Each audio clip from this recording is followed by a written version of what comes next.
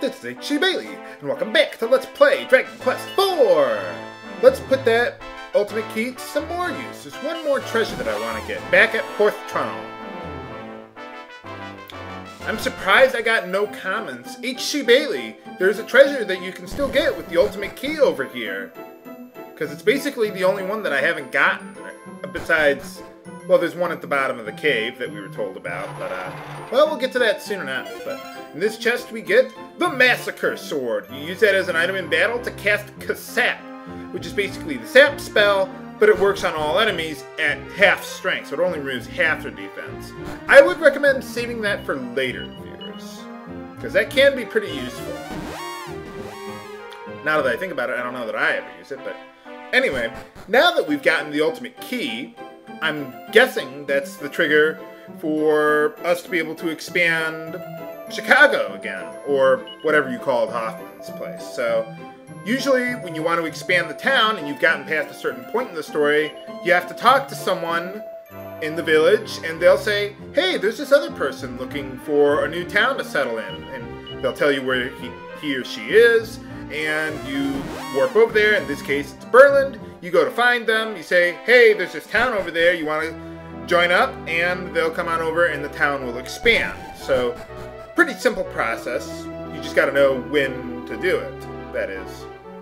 So, uh, yeah, sure. Let's go to Chicago. It'll be a great place for you.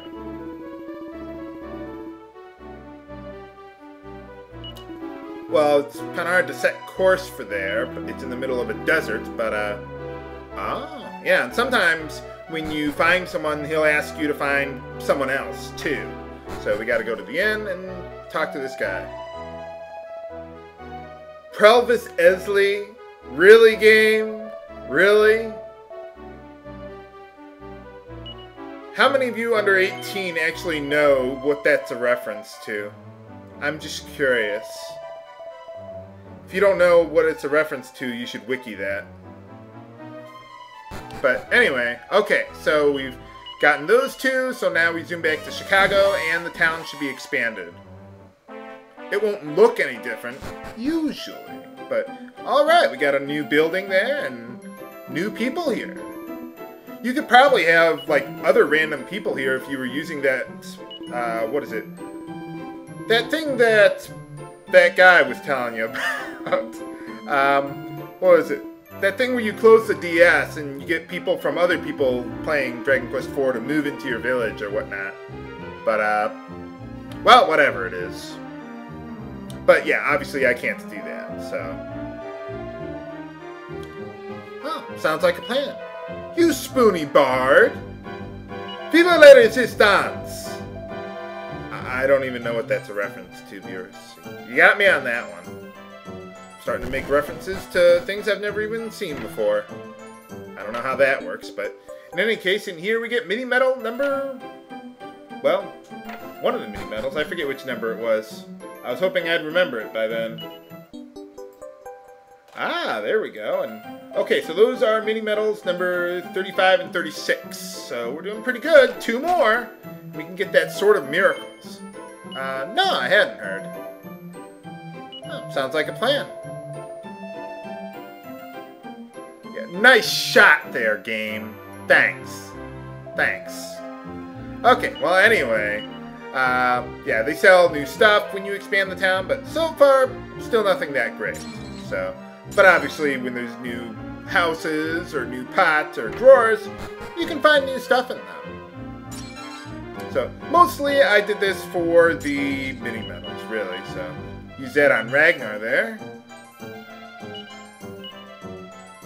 Uh, ooh! Three points. Wow. I have never seen it get three points before. Usually it gives me like one, maybe two, but that's even that's rare. But three? Wow. I've never seen that before. Well, that'll improve his defense a little bit. Now, here they're talking about a castle and well, some things about certain containers there. Remember that for later. Like, much later. Like, after you finish the game later. Just something to keep in mind. Hey, how's it going? What do you mean by that? Well, just talk to her, man. Huh. Oh, well. Okay.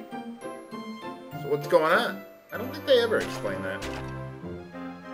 I I don't know what I did wrong, but sorry. Okay, well that's everything we can do here. Got the mini medals, that's really all I care about. So, let's see. Um, oh, you know what? I'm in the area still. As long as I'm here, let's, uh, remember someone was saying about something about a chest at the bottom of a cave? Well, this is the cave he's talking about, so let's head on down there then. Now, there is one thing about the way I'm playing the game. You see these chests are refilled? That's not supposed to happen. I don't know why it happened. Maybe it's something with the way that I'm playing the game, or maybe there's a setting or a memory thing that's not right. I don't know. But somehow the chests always respawn here. I don't know why. And you can get another armlet of transmutation, which shouldn't happen either, because that makes no sense in the plot.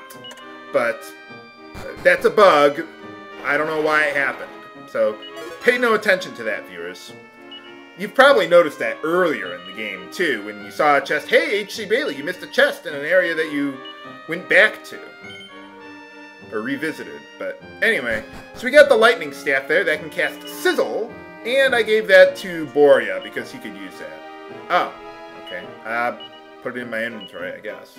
So, But anyway, I've uh, rearranged my party as I have listed in the video description, so that way well, I've got it ready for the next area that I'm going to go to. Now, remember where we found that the Sands of Time? Well, there was a locked door there. So, or, well, a jailer's door, or ultimate key door, whatever you want to call it. So, now we can go through there. So, let's go check that out. The enemies there are very hard. You probably should do a little more level grinding to go through there, but I have patience problems. So I'm going to just head on over there then. Fortunately, I know exactly what I'm doing. Uh, let's see. Now, you see I got the Sands of Time on Alena, the Magma Staff and Staff of Divine Wrath on Meena, and the Lightning Staff on Borya there. I've also got the Icicle Dirk on Solo, even though I have him equipped with the Dragon's Bane, because he could use that as an item too to cast Crackle. So anyway, we got new enemies here. Mini demons. Let's check them out. They are susceptible to pretty much all the elements I care about. Uh, let's see, Sand Vipers are susceptible to Whack and Dazzle, but that doesn't help me now, so I can pretty much use whatever I want on these guys, just no debuffs. So, oh well. And the reason I chose this party for this area is so that way they can catch up on experience because, well, I used the other three party members on, well, the, the boss dungeon. So these three are a little behind. There's no boss here or anything like that. Ow! That hurts. Well, anyway, uh, yeah, defend there, just in case. You never know. There we go. Got him. Yeah, might want to heal up Borya after that. Again, have Solo do the healing manually. Don't have Meena do the healing there. But anyway, if you hadn't been here before, you got to use the Karstaway Stone to make to get through those steps there. You get that back at Dun Plundrin. But I've already I've already done that, so nuts. Now these guys aren't that hard. Let's see, incinerators. They are susceptible to pretty much any elemental magic and snooze. So let's have Meena do that and use Crackle. Crackle is probably the most powerful level 2 elemental spell, so I like using that as much as I can. Kind of odd that so many monsters of the sea are actually susceptible to ice, but, well, whatever works. I, I, recall in Dragon Warrior 3 that wasn't the case. Like, you had to use fire magic on monsters of the sea, like, um, like Lufia, for example. Although they probably ripped it off of Dragon Quest, but whatever. But anyway, there we get mini medal number 37. Ooh, I can taste that Sword of Miracles, but, well, we can't get it yet, so, oh well. But anyway, um, did I fight the Pakutas before? Well, if I didn't, we're going to fight them now. So, let's use Snooze on them, because they are susceptible to it.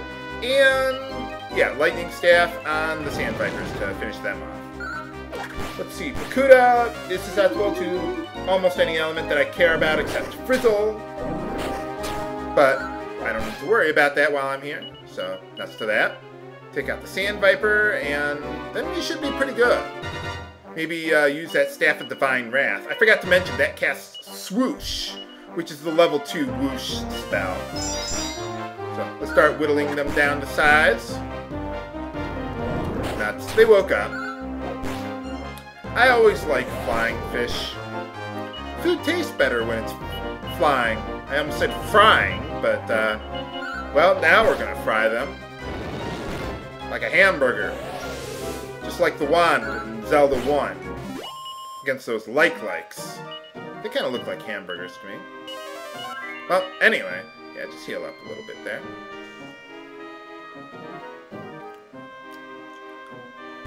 Yeah, most of the enemies here, well, I think I've shown most of them by now. So, pretty much the same things that you'd meet up with in a in the ocean. Got a death mask there. It's cursed, so I wouldn't equip it, but you might want to hold on to that for later. It doesn't sell for very much, I don't think. I could be wrong on that, I don't know. But I will hold on to it anyway. When did the encounter rate get so high in this game? Did my side LP invade? I don't think so. But anyway, yes, alright, we made it. And in this chest we get the Liquid Metal Sword, one of the most powerful weapons in the game. You remember the Masamune in Final Fantasy 1? That's pretty much what this sword is. It's uh, maybe not the most powerful, but it's got to be up there, and almost anyone can equip it, except, like, mages. But even Kiryl and uh, Meena can equip it. Yeah, look at that attack power. It's almost a 100 attack power boost. All right. But what's going on back at Roseville, that, or Rosehill, that the Queen was telling us about? Find out next time on Let's Play Dragon Quest IV! This is H.C. Bailly, signing off. Have a good day.